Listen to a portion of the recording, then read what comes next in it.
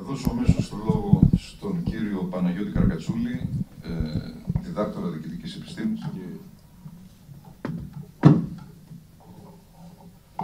και γραμματέα της κοινοβουλευτικής ομάδας στο Ποτάμι για τη δική του παρέμβαση.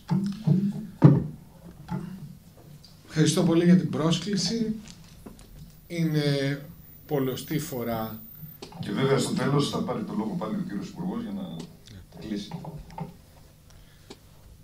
Που το Ίδρυμα Τσάτσου διοργανώνει εκδηλώσεις με ιδιαίτερο ενδιαφέρον και για μένα είναι χαρά κάθε φορά που μπορώ να συμμετέχω και να μαθαίνω από αυτές τις εκδηλώσεις και στο βαθμό που μπορώ βεβαίως να συμμετέχω δίνοντας μια δική μου πρόταση, ιδέα, προοπτική.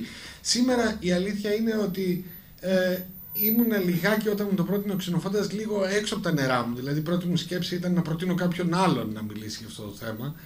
Γιατί τι θέλει τώρα ένας διοικητικός επιστήμονας που τον ενδιαφέρουν θέματα αποτελεσματικότητας και αποδοτικότητας του κράτους να συζητάει με ανθρώπους που βλέπουν θα έλεγα, πώς λέγαμε στην νομική επιστήμη, δογματικά κάποια θέματα οργάνωση και λειτουργίας του κράτους, μέσα στα οποία ανήκουν και οι εκλογές. Μετά όμως, και ο εκλογικός νόμος, μετά συζητώντας περισσότερο με τον αγαπητό φίλο, τον ξενοφόντα τον Κοντιάδη, ε, σκεφτήκαμε ότι μια διάσταση τέτοια που είναι λίγο, πώς θα έλεγα, παράτερη σε τέτοιες κουβέντες, δηλαδή μια διάσταση του θέματος της διακυβέρνησης και της βελτίωσης ποιότητας διακυβέρνησης που θα εξηγηθώ αμέσως, θα μιλήσω για δύο πράγματα, αποτελεσματικότητα και αποδοτικότητα και τίποτα άλλο, ε, θα μπορούσε να υπαχθεί κάτω από το ένα από τα δύο μεγάλα ζητούμενα του εκλογικού νόμου. Δηλαδή, αν το ένα είναι η αντιπροσωπευτικότητα που έχουν υποθεί πολλά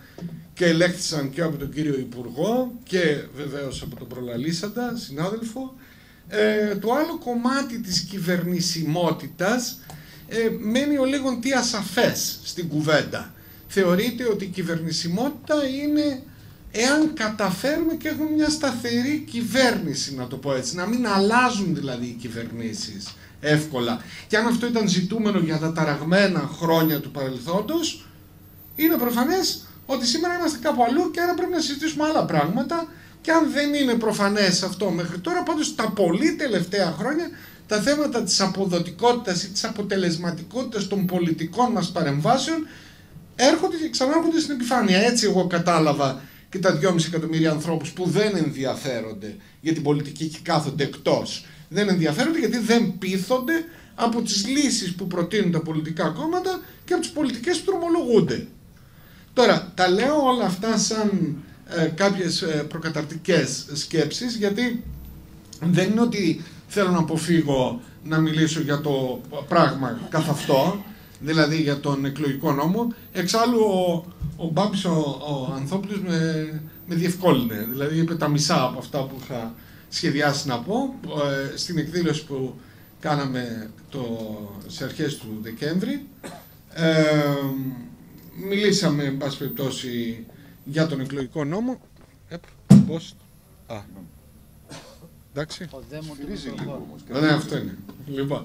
Ε, εμείς παρουσιάσαμε ε, μια δέσμη προτάσεων, ε, ιδεών και κάναμε μια κουβέντα γύρω από αυτά.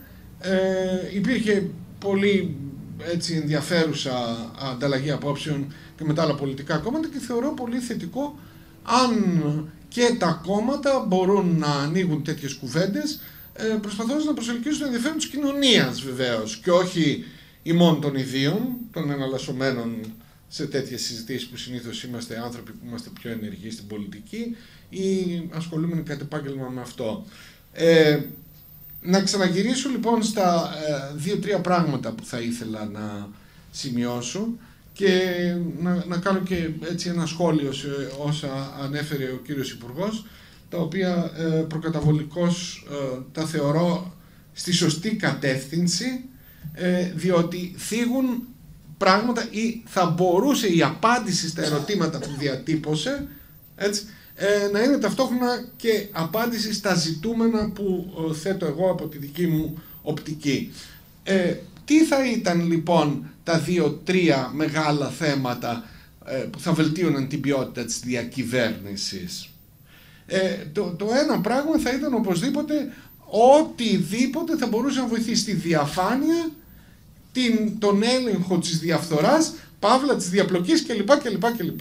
Έτσι, είναι οι όροι που χρησιμοποιούμε εμείς, αλλά εν πάση περιπτώσει αυτή η όσμωση οικονομικού και πολιτικού συστήματος με το βαθμό και την έκταση που έχει πάρει αυτή, η οποία βεβαίως ε, είναι γνωστό ότι νοθεύει ε, εν πάση περιπτώσει και τις βουλήσεις, τις λαϊκές και ε, τις όποιες, εν πάση περιπτώσει, τα όποια προτάγματα της δημοκρατίας.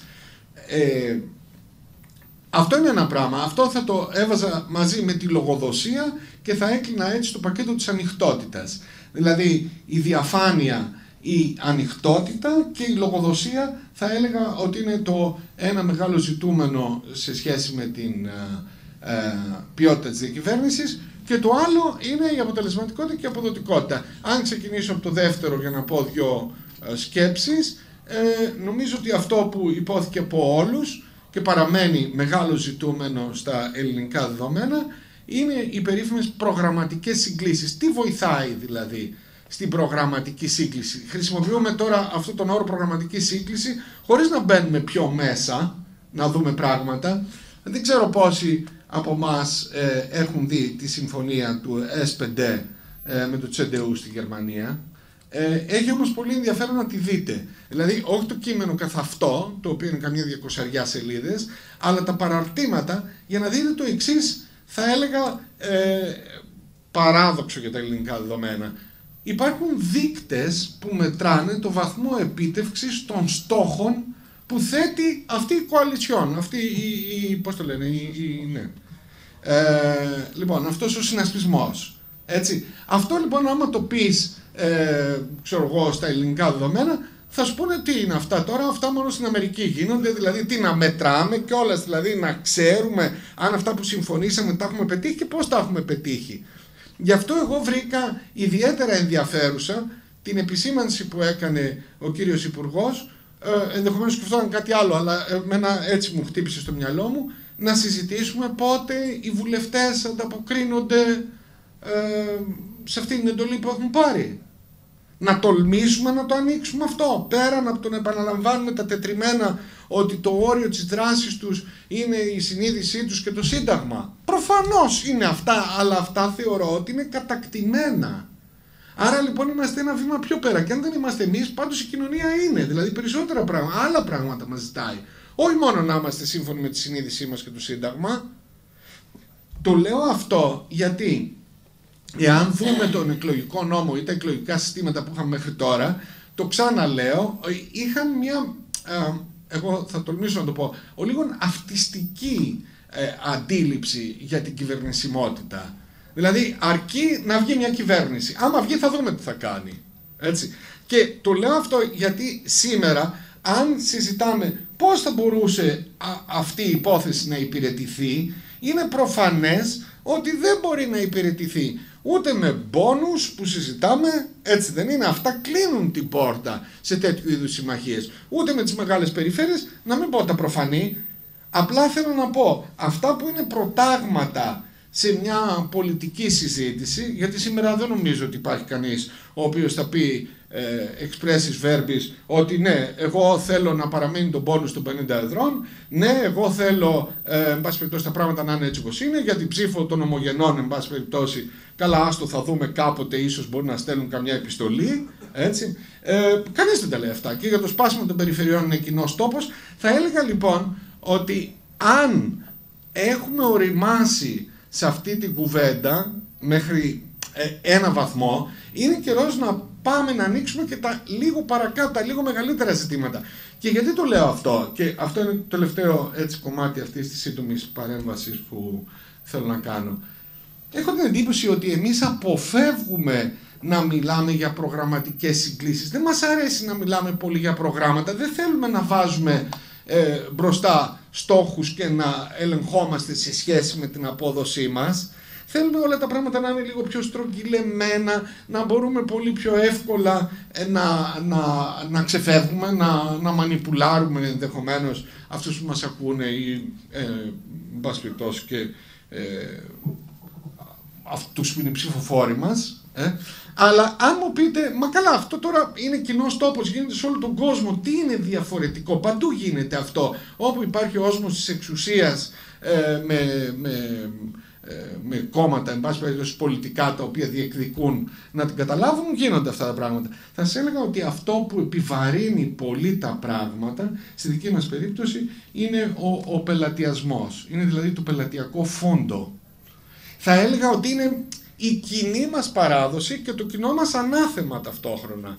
Δηλαδή, το λέμε αυτό, θεωρούμε ότι είναι μια πραγματικότητα, έτσι έχουν τα πράγματα στη χώρα μας και αρχίζουμε και συζητάμε σαν να μην υπάρχει και να δούμε τι αλλαγές μπορούμε να κάνουμε και έτσι επιχειρώντας να κάνουμε μεταρρυθμίσεις πολλές φορές βγαίνουν ε, εξαλλαγμένα, μεταμορφωμένα αποτελέσματα άλλα από αυτά τα οποία βγαίνουν αλλού και κάθε φορά η διερώτηση είναι μα τι συμβαίνει σε αυτή τη χώρα και ε, δεν μπορούν να πετύχουν οι μεταρρυθμίσεις και θα έλεγα ακόμη και η ίδια η έννοια των μεταρρυθμίσεων στη δική μας τη χώρα δεν έχει μια μονοσήμαντη απάντηση. Έτσι. Ε, πάλι όμως θεωρώ ότι και αυτό βρίσκεται μέσα στην ίδια συλλογιστική, μέσα στον ίδιο θα σας έλεγα ε, κεντρικό κώδικα επικοινωνίας μεταξύ των πολιτών και της πολιτικής. Και θα συμφωνήσω ότι εάν η ευθύνη των πολιτικών είναι μεγάλη σε σχέση με τη διατήρηση ενός ευρύτατου πελατειακού δικτύου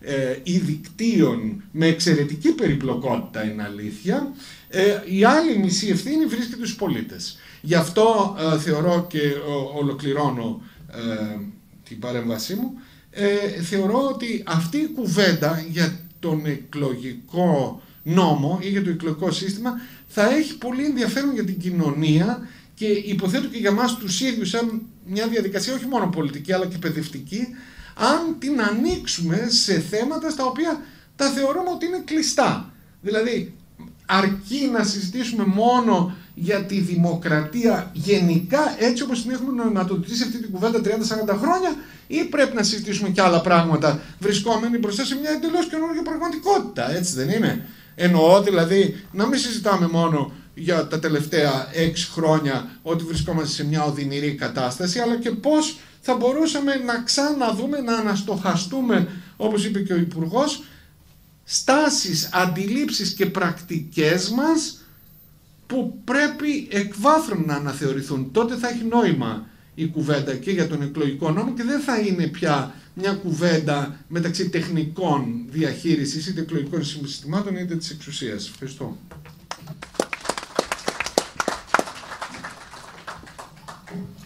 Ευχαριστώ θερμά τον κύριο Καρκατσούλη. Έθεσε μια σειρά από άλλες διαστάσεις της σημασίας του εκλογικού συστήματος και του τρόπου που θα πρέπει να το προσεγγίσουμε, αναδεικνύοντας τη διάσταση της διαφάνειας, της ανοιχτότητας, της λογοδοσίας, της κυβερνησιμότητας και τελικά της ποιότητας της διακυβέρνησης και της ανάγκης για προγραμματικές συγκλήσεις σε μια σειρά από ζητήματα που αφορούν βέβαια ευρύτερα τις αλλαγές, τις αναγκαίες αλλαγές της ε, ελληνικής δημόσιας δίκησης, της ελληνικής πολιτείας ευρύτερα. Και δίνω αμέσως το λόγο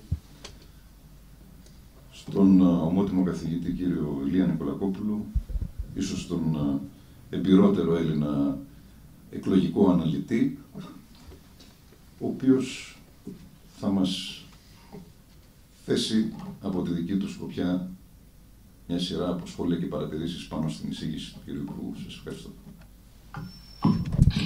Ευχαριστώ, Συγγνώμη, ευχαριστώ πολύ για την πρόσκληση. Είναι εξαιρετικά ενδιαφέρον να συζητάμε για ένα, μια μεταρρύθμιση του εκλογικού συστήματος και μάλιστα σε μια περίοδο που τουλάχιστον πιστεύουμε ότι απέχουμε από την επόμενη εκλογική αναμέτρηση. Άρα πάντα μια συζήτηση για τον εκλογικό νόμο είναι καλύτερα να γίνεται εν ψυχρό και όχι εν θερμό. Θα περιοριστώ όπως είναι και το πρόγραμμα κυρίως στο σχολιασμό των όσων ανέφερε ο κύριος Υπουργός. Αλλά θα ήθελα πριν να κάνω μία προκατακτική παρατήρηση. Διότι νομίζω ότι αυτά που αναφέρατε κύριε Πρόεδρε και στην εισαγωγική σας ομιλία και που είναι και μια γενική, γενικά εμπεδομένη άποψη για το πόσο καθοριστικό είναι το εκλογικό σύστημα για τη διαμόρφωση του κομματικού συστήματος, φοβάμαι ότι είναι μια προηγούμενη αίσθηση προηγούμενων δεκαετιών που αντιμετώπιζε μονο, μονοσήμαντα αυτή την επίδραση. Έχουμε πολλά παραδείγματα πλέον όπου το εκλογικό σύστημα παρά την προσπάθεια να χειραγωγήσει και να διαμορφώσει το κομματικό σύστημα έχει αποτύχει τελείως. Και πολύ συχνά είναι το κομματικό σύστημα που διαμορφώνει το εκλογικό σύστημα και τις απαιτήσεις του. Δύο μικρά παραδείγματα. Το αναλογικό εκλογικό σύστημα της περίοδου 89-90 δεν μπόρεσε να προκαλέσει καμία συσπή, ε, αποσυσπήρωση των κομματικών δυνάμεων και κανένα, καμία ανάδυση νέων πολιτικών δυνάμεων. Αντιστρόφως, το ισχύον εκλογικό σύστημα με μια εντυπωσιακή πλειοψηφική ροή και τον πόνου των 50 εδρών δεν κατόρθωσε να συγκρατήσει τον κατακαιρματισμό. Όχι μόνο το Μάιο του 12, αλλά και στις επόμενες εκλογικές αναμετρήσεις ο κατακαιρματισμός επιβεβαιώνεται κάθε φορά. Άρα και η πλειοψηφική ροή την οποία, ε, την οποία έχει το ισχυρό εκλογικό σύστημα, τον κατακαιρματισμό δεν τον απέτρεψε. Άρα είμαστε λίγο πιο μετριοπαθείς ως προς αυτή τη σχέση εκλογικού συστήματος και κομματικού συστήματος. Αυτό βέβαια δεν σημαίνει ότι πρέπει να παραμελήσουμε την εκλογική μεταρρύθμιση. Και έτσι έρχομαι στα σημεία τα οποία έθιξε ο υπουργός. Θα ξεκινήσω όχι με τη σειρά, αλλά με μια δικιά μου σχετική ευκολία. Πρώτον, η μείωση του αριθμού των βουλευτών. Συμφωνώ απόλυτα με όσα ανέφερε ο συνάδελφος ο κ. Ανθόπουλος. Είναι τελείως, θα έλεγα, λαϊκιστικό σύνθημα η μείωση του αριθμού των βουλευτών. Υπάρχει μέσα στην πρόταση του ποταμιού και η δικιά μου παρατήρηση στους συντάκτες της σχετικής πρότασης ότι μάλλον λαϊκίζετε κι εσείς προτείνοντας τη μείωση του αριθμού των βουλευτών. Είναι άλλο η μείωση του κόστους λειτουργίας του Κοινοβουλίου και άλλο αυτή δεν με επιτυχάνεται με μείωση του αριθμού των βουλευτών, επιτυχάνεται με πολλούς άλλους τρόπους που αφορούν τα προνόμια που έχουν, τους συνεργάτες που έχουν, τους μισθούς που έχουν, τις διευκολύνσεις που έχουν κτλ. Δεύτερο σημείο που ανέφερε ο Υπουργός και το οποίο είναι πια κοινός τόπος είναι η κατάθμιση των μεγάλων εκλογικών περιφερειών. Και το κλασικό παράδειγμα που προτάσετε είναι η Β' Αθηνών. Νομίζω ότι όλοι ξέρουμε γιατί δεν έχει γίνει αυτή η κατάθμιση ή γιατί δεν έγινε όταν υπήρχε ως διευρυμένη συζήτηση, διότι υπήρχαν οι μεγαλοβουλευτές με μεγάλο αριθμό πελατών, ο οποίος ήταν διάσπαρτος σε όλη τη Β' Αθηνών και δεν θέλανε να απομειώσουν το κεφάλαιό τους, το οποίο είχαν συγκροτήσει ως πελατειακό δίκτυο. Εγώ ξέρω, είναι κοινό γνωστό, βουλευτής της Β' Αθηνών που μπορεί να έχει ακόμη και 300.000 εγγραφές στο, στο γραφείο του. Στο πελατό. Όχι αναγκαστικά πελατολόγιο, αλλά πάντως ε, διευθύνσεις.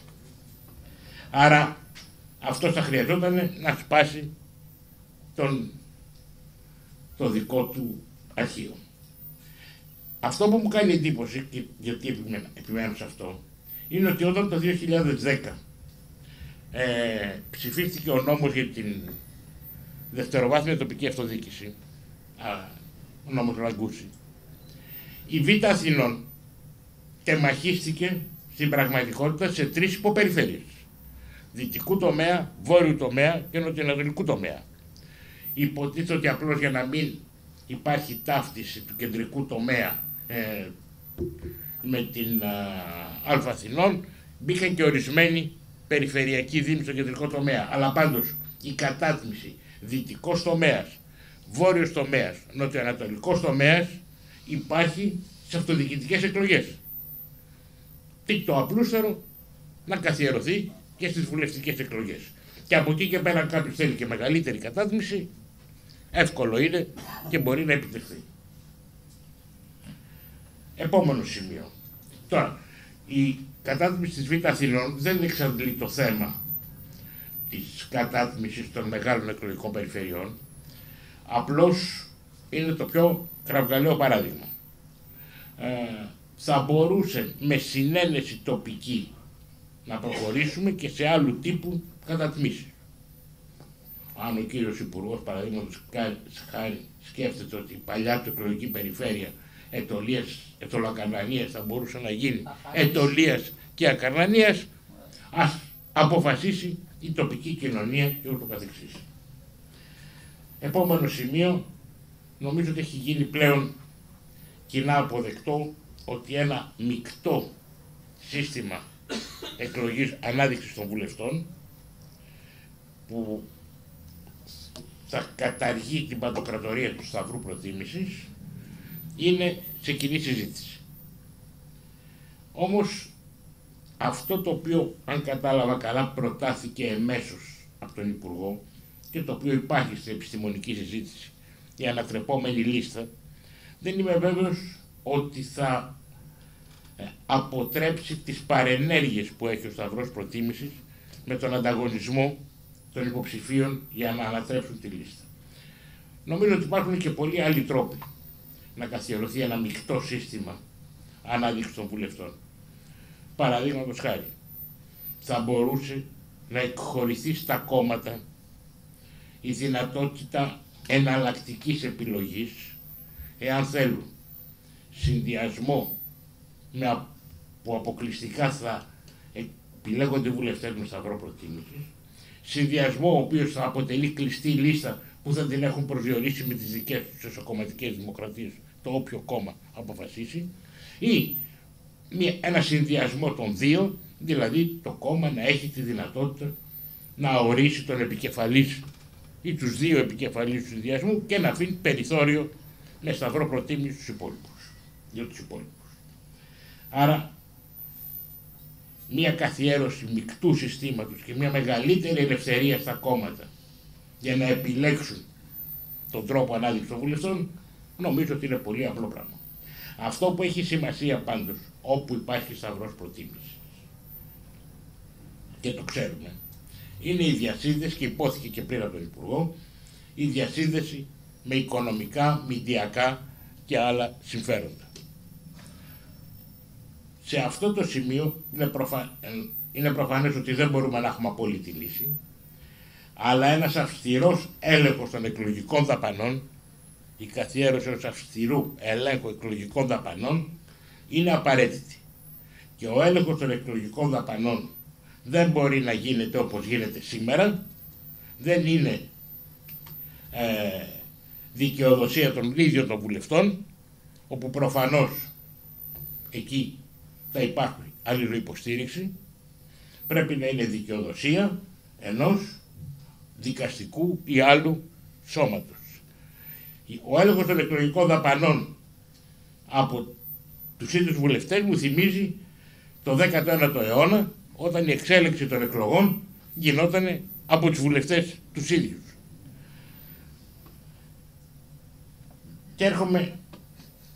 Α, το θέμα του κοινωνικού ελέγχου των βουλευτών είναι μια πολύ χρήσιμη ιδέα δεν ξέρω πόσο εύκολα εφαρμόσιμη είναι.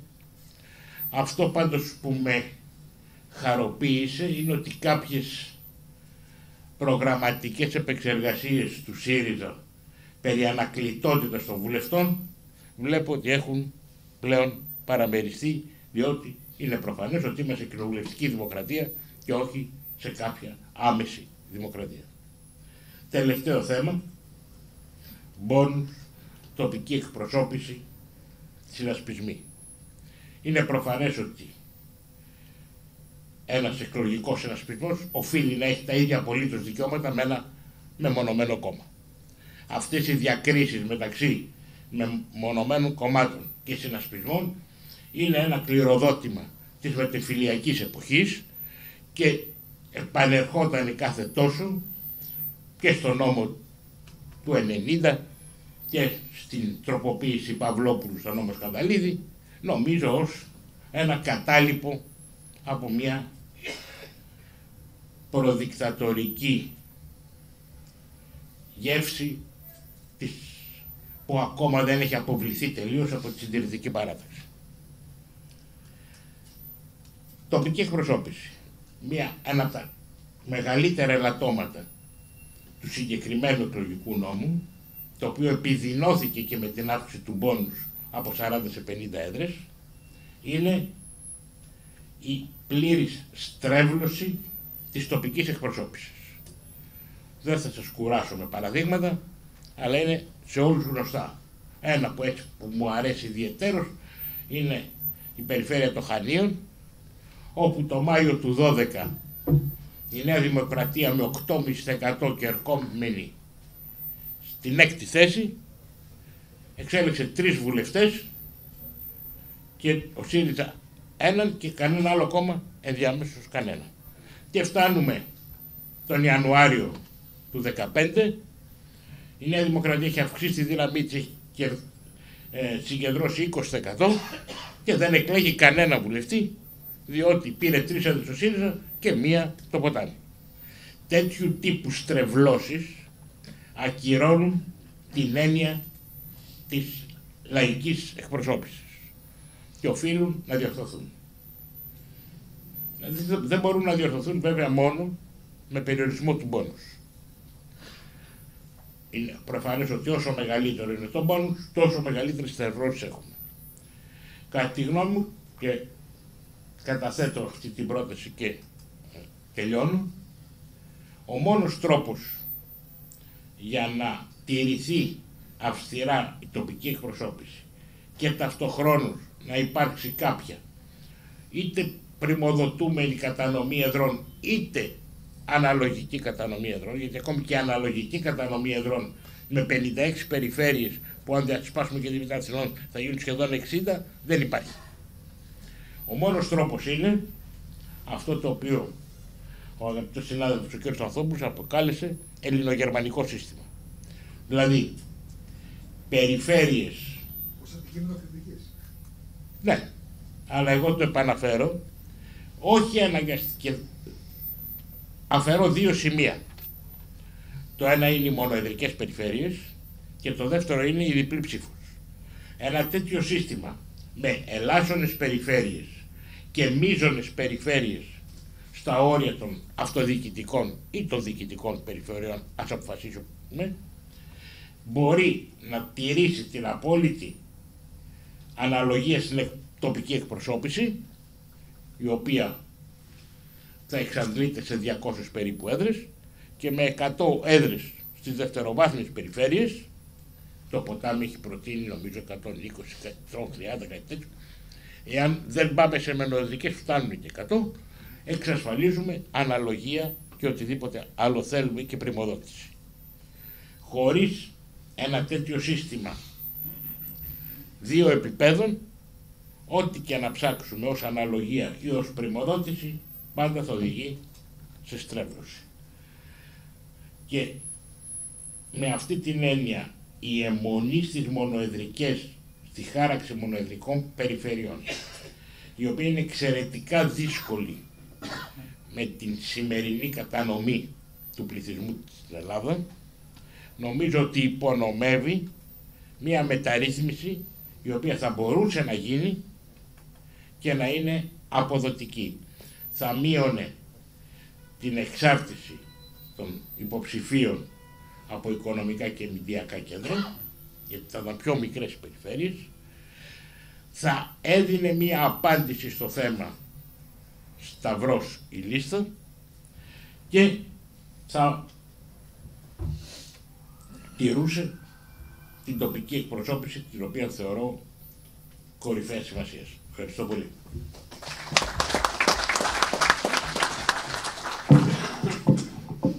Εγώ ευχαριστώ θερμά τον κύριο Νικολακόπουλο. Ε, έθεσε πάρα πολλά θέματα, τοποθετήθηκε σχεδόν σε όλα τα ζητήματα που έθιξε ο κύριος Υπουργός στην εναρτήρια τοποθέτησή του για τον αριθμό των βουλευτών, για την ε, κατάτμιση των περιφερειών, για το ζήτημα της ανατρεπόμενης λίστας και τις εναλλακτικές εκδοχές ενός μεικτού συστήματος ανάδειξης των βουλευτών, το πολύ σημαντικό κρίσιμο ζήτημα του ελέγχου των εκλογικών δαπανών και βέβαια τις προϋποθέσεις του πόνους και τις ε, στρεβλώσεις του σημερινού συστήματος για την ε, γεωγραφική τοπική αντιπροσώπευση. Κύριε Υπουργέ, έχω την εντύπωση ότι καταφέραμε σε αυτό το τραπέζι οι σχολιαστές σας να έχουν διαφορετικές οπτικές γωνίες, μια πολυπρισματική παρέμβαση, σχολιασμός ε, από την πλευρά τους, κατά την μου εξαιρετικά ενδιαφέρουσα και γόνιμη. Και έχετε βέβαια ερεθίσματα για να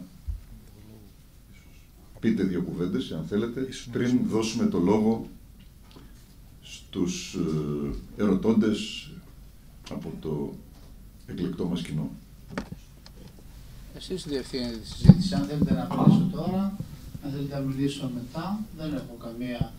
Αλλά σε ό,τι αφορά την τελευταία σας έτσι, παρατήρηση, θα σας έλεγα ότι αυτή είναι η ομορφιά της δημοκρατίας. Αυτός ο ήρεμος και νυφάλιος διάλογος που έγινε σήμερα εδώ, ε, αναδεικνύει την ανάγκη να συζητούμε σε ένα τέτοιο πνεύμα. Διότι κανένας δεν ορθοτομεί το λόγο της αληθείας και μέσα από αυτόν τον διάλογο που είναι κατάκτηση της αρχαίας ελληνικής σκέψης μπορούμε να βρούμε τα καλύτερα και δυνατά συμπεράσματα και να τολμήσουμε αυτό που είπε ο Παναγιώτης ο Καρκατσούλης να τολμήσουμε αδερφέ να ανοίξουμε για κάποια θέματα που τα θεωρούμε έτσι λίγο κλειστά. Και σε ό,τι αφορά εγώ δεν το θεωρώ αμέσως, δηλαδή δεν θα μπω στο χαρακτηρισμό αν οι 300 μπορούν να γίνουν 200 ε, και θα έχω και διαφωνία ε, με τον καθηγητή τον, τον κύριο Νικορακόπουλο σε ό,τι αφορά ε, τα έξοδα της δημοκρατίας αλλά είναι ένα άλλο θέμα εγώ θα έλεγα ότι και αυτό το θέμα από τη στιγμή που τίθεται από την κοινωνία πρέπει να το συζητήσουμε. Μπορεί να, και εγώ να έχω την ίδια άποψη ότι πρέπει να είναι 300, αλλά μπορούμε να το συζητήσουμε. Όπως και το συζήτημα, εντάξει, πάμε σε ένα νέο εκλογικό νόμο. Θα βρούμε έναν τρόπο να δούμε, να κρίνουμε και το ζήτημα της αποτελεσματικότητας, αποτελεσματικότητας αυτού του σχήματος που έθεσε ο, ο Παναγιώτης. Δηλαδή είναι ζητήματα που σε μία κουβέντα ε, συμβάλλουν στο να προβληματιστούμε περισσότερο. Και νομίζω ότι και οι τρεις σχολιαστές μου και που μου έκαναν την τιμή να είναι σήμερα εδώ και ο κύριος ε, Ανθόπουλος έθεσε πολύ κρίσιμα ζητήματα όπως το θέμα του προληπτικού ελέγχου και μία σειρά ζητήματα που τόνισε που μας κάνουν όλους πιστεύω να φύγουμε.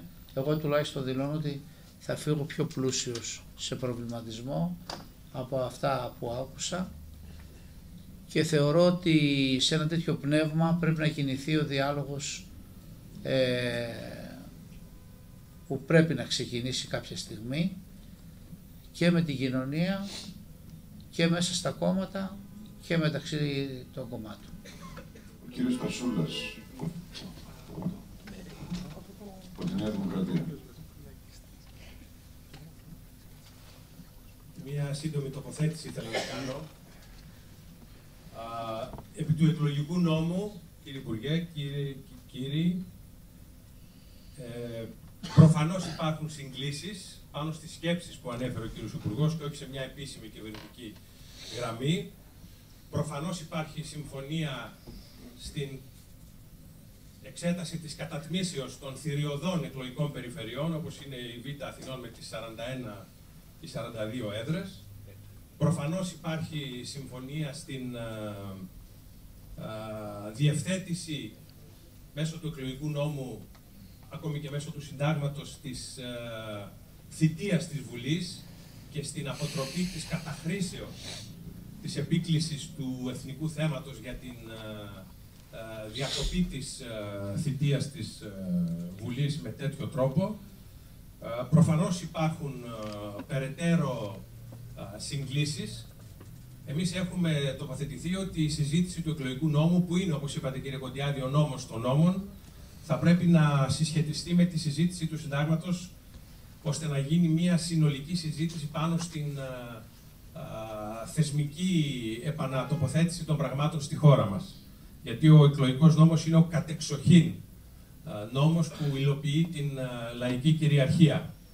Θα ήθελα να κάνω και μια πολύ σύντομη προσωπική τοποθέτηση πάνω στον εκλογικό νόμο, γιατί θεωρώ ότι έχουμε την αίσθηση ότι υπάρχει ενδιαφέρον της κοινή γνώμης για τον εκλογικό νόμο. Στην πραγματικότητα συγχαίουμε την εχθρότητα της κοινή γνώμης προς το πολιτικό σύστημα με το ενδιαφέρον της κοινή γνώμης για τα πολιτικά πράγματα. Είναι δύο διαφορετικά πράγματα.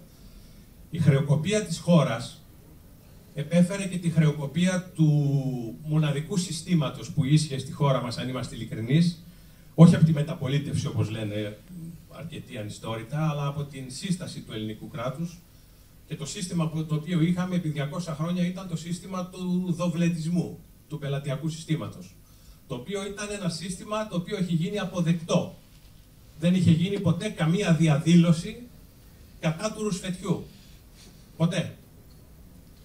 Ούτε πρόκειτο να γίνει. Σας διαβεβαίω αν συνέχιζε αυτό το σύστημα. Έτσι εξηγείται κύριε Νικολακόπουλε γιατί ο αναλογικός νόμος 1487 ή ο 1847, δεν θυμάμαι, το 89, γιατί ο αναλογικός νόμος αυτός δεν λύγησε το άθροισμα του, των δύο μεγάλων κομμάτων. Δεν το λύγησε γιατί τότε έθαλε ο δοβλετισμός.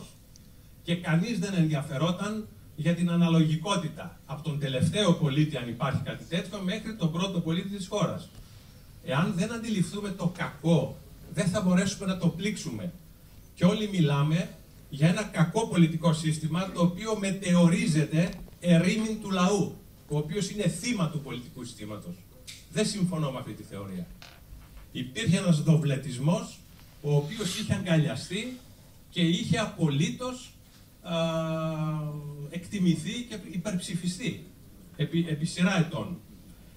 Προσέξτε τώρα να δείτε την πλάνη γύρω από τα εκλογικά συστήματα. Ο πιο διαβεβλημένος εκλογικός νόμος που υπήρξε ποτέ στη χώρα δεν είναι ο νόμος αυτός που ανέφερα πριν το 89 που δεν σε άφηνε να κυβερνήσεις ακόμη και με 47%. Ε, φανταστείτε, με 47% να μην μπορείς να κυβερνήσεις.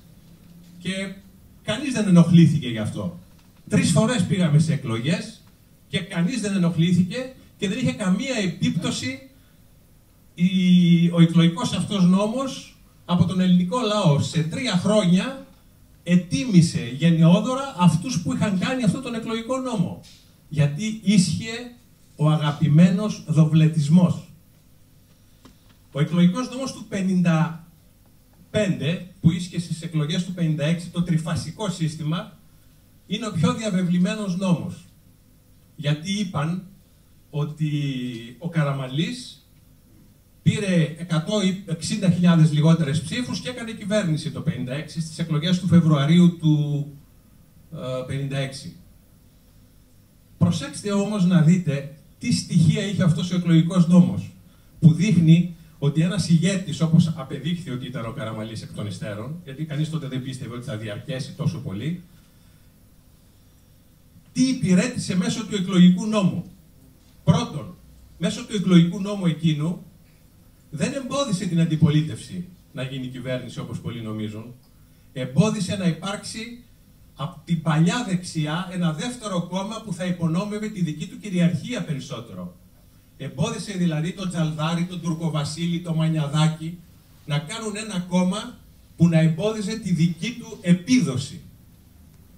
Ήθελε να κυβερνηθεί η χώρα το 55.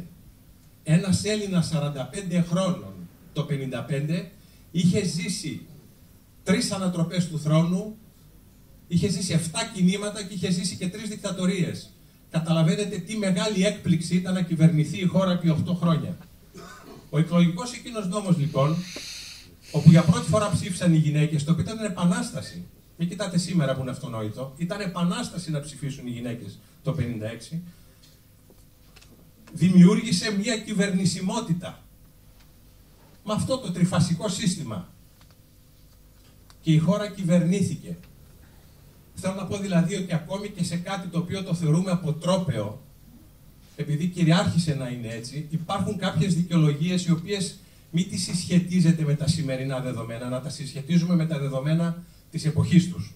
Άρα θεωρώ ότι καλώς ανοίγει πρόημα, όπως είπε ο κ. Κουρουπλής, η συζήτηση για τον εκλογικό νόμο, άρα θεωρώ ότι και το πολιτικό, ας πούμε, σύστημα, ο Θεός να το κάνει σύστημα, ε, συμφωνεί σε κάποιες βασικές παραδοχές, η επιστήμη επίσης συμφωνεί σε κάποιες βασικές παραδοχές, αν είμαστε πραγματικά ειλικρινείς, μπορεί αυτές τις βασικές παραδοχές που τις περιγράψαμε ως προσωπικές περισσότερο απόψεις, να τις υλοποιήσουμε, δεν μας εμποδίζει τίποτε. Αλλά να ξέρετε ότι το εκλογικό σύστημα δεν είναι η επέλευση της δικαιοσύνης επί της γης. Το εκλογικό σύστημα είναι η επέλευση της κυβερνησιμότητος επί της χώρας, η επέλευση της υλοποιήσεως της λαϊκής κυριαρχίας επί της χώρας και η διόρθωση κάποιων κραυγαλαίων παθημάτων και σφαλμάτων που όλοι κατά βάθος τα αναγνωρίζουμε. Και πάνω σε αυτά νομίζω μπορούμε να συμφωνήσουμε με τη συμβολή και τη επιστήμης για να καταλάβετε, για να τελειώνω, ότι τα συστήματα παίζουν δευτερεύοντα ρόλο και πρωτεύοντα ρόλο παίζουν οι άνθρωποι. Πάρτε το θεσμό των βουλευτών επικρατείας που κανείς δεν διαφωνεί ότι είναι ένα καταπληκτικό σύστημα. Νέο το 1974. Ποιοι ήταν βουλευτές επικρατείας τότε, ένας Τσάτσος, ένας Ζακηθινό, ένας Ευρυγέννη, ένας Τρυπάνης, ένας Ιορδανίδης, ένας Γαζής και ποιοι είναι σήμερα; Άρα δεν μας φταίνει οι θεσμοί. Εμείς φταίμε για ό,τι μας συμβαίνει.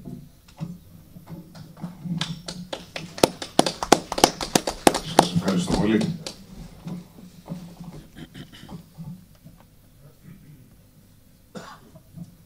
Μία ερώτηση θέλω να κάνω, Αργύρης ονομάζομαι, ιδιωτικός υπάλληλος, στον κύριο Υπουργό.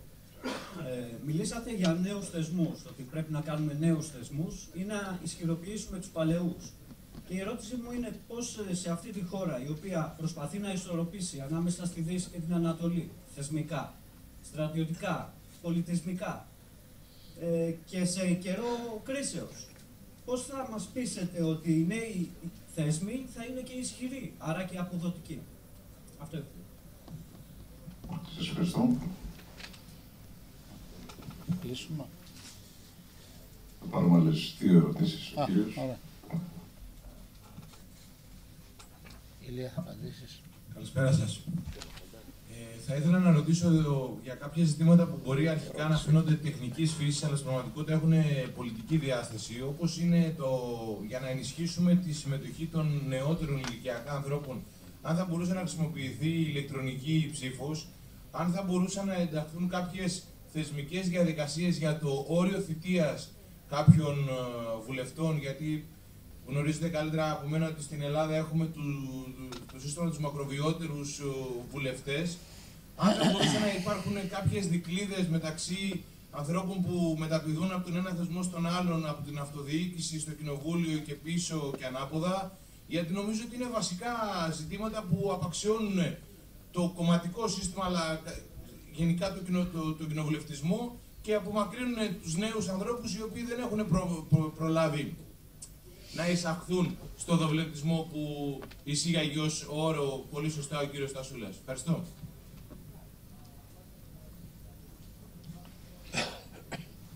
Μάλιστα, δεν υπάρχουν άλλες ερωτήσεις. Εκ των ομιλητών, πριν δώσω στον ε, κύριο Υπουργό τον τελευταίο λόγο, ο κύριος Νικολακόπουλος. Ε, ευχαριστώ πολύ. Ήθελα απλώς δύο παρατηρήσεις αυτά τα οποία είπε ο κύριος Τασούλας. Η ψήφος των γυναικών καθιερώθηκε το 1952. Εφηρμόστε το 56. Εφαρμόστηκε πρώτη φορά το 1953 στην αναπληρωματική εκλογή τη Θεσσαλονίκης. Αλλά καθιερώθηκε από κυβέρνηση πλαστήρα. Εφηρμόστε το 56 γιατί δεν είχαμε εκλογικού Εντάξει τώρα. Όχι. Πότε το ψηφίστηκε, Γενάρη του 1953 είχαμε εκλογικό κατάλογο στη Θεσσαλονίκη και εκλέχθηκε η κυρία Ελένη Σκούρα, η πρώτη γυναίκα βουλευτής του Ελληνικού Κοινοβουλίου. Ήταν Έτσι. κυβέρνηση του Έτσι, Ευθύρα έτσι. που, που Έτσι, έτσι. αποδέχτηκε την ψήφο των γυναικών. Ιστορικά το είναι έτσι. δεύτερο που ήθελα να πω ότι ε, εξιάσατε το νόμο του 56. Αυτό Δεν ήταν το 56, ήταν το 55. του 55 που εφαρμόστηκε το 56. Ε, δεν είδα την κυβερνητική σταθερότητα την οποία προκάλεσε ο νόμος αυτός, διότι δύο χρόνια μετά από εσωκομματική εντασία ανατράπηκε η κυβέρνηση Καραμαλή. Ευχαριστώ. Διήρκε σε 8 χρόνια. Καραμαλή. Όχι. Και σε δύο χρόνια. Κέρδισε μετά με την ενισχυμένη λογική, όχι με το διπλασικό πάντως. Έτσι. Δείχθη με αυτόν τον νόμο. Σας ευχαριστώ. Ο κύριος Καρκατσούλης. Δεν έχω.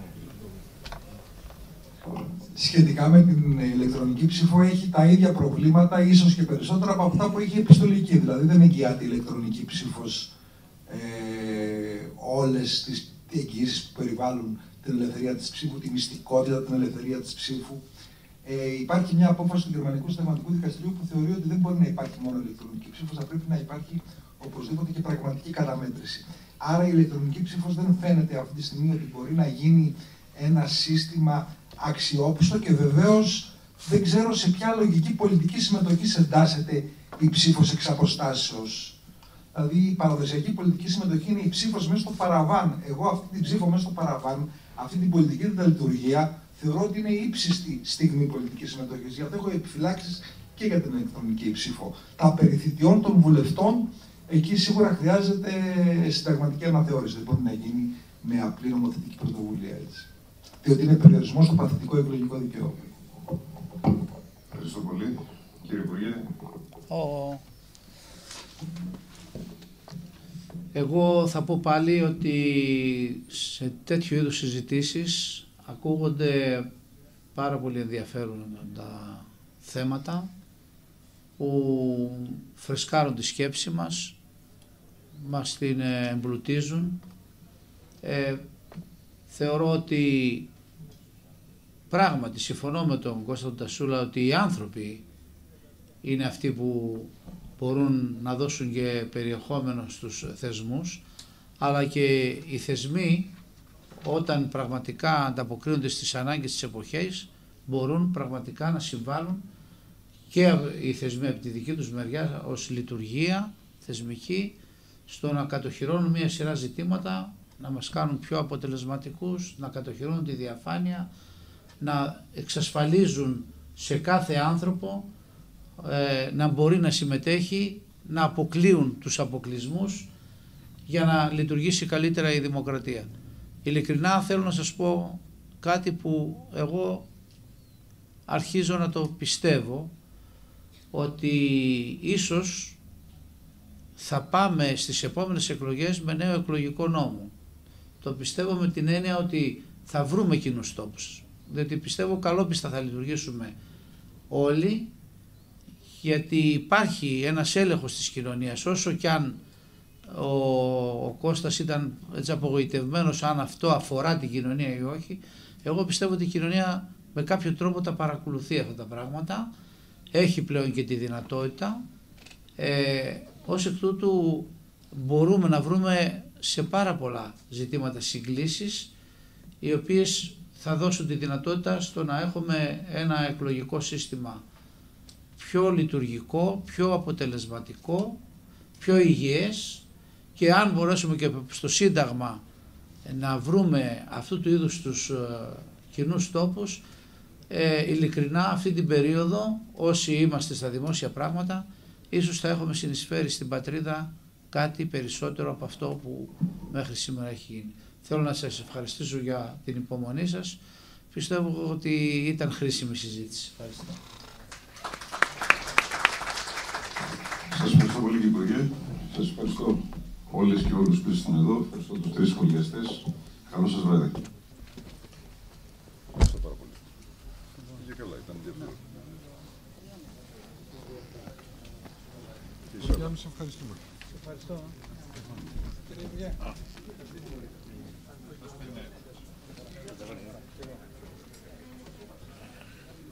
Ωραία. Γεια σας.